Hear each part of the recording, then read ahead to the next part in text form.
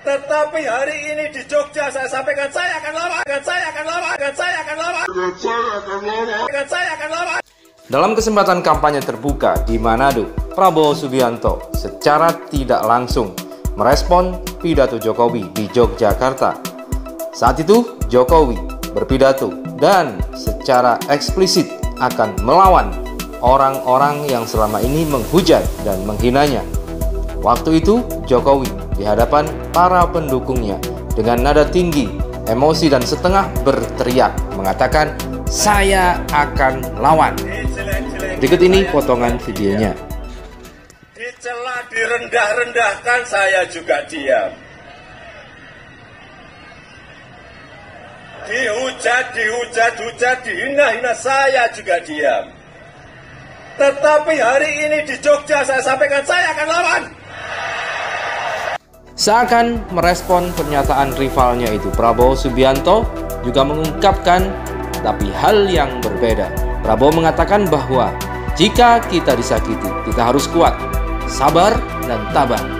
Caci maki, balaslah dengan senyuman. Bahkan dalam kesempatan itu Prabowo sempat berjoget untuk menegaskan pernyataannya bahwa jika difitnah, kita buat joget saja. Berikut ini kutipan videonya. Terus dengan senyum. Difitnah. Kalau difitnah, kita joget saja.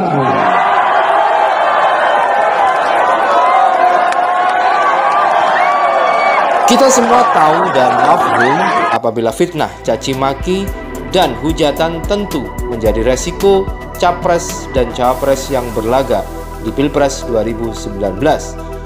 Dari kubu masing-masing tentu menghujat dan memfitnah. Ada saja untuk kubu paslon lawannya. Tak hanya Jokowi, Prabowo dan Sandiaga juga kenyang akan fitnah, hujatan, dan cacian.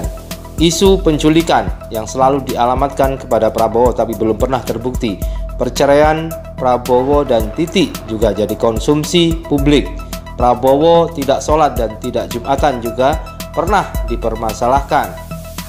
Namun, fitnah-fitnah itu disikapi oleh Prabowo Sandi hanya dengan diam dan senyuman.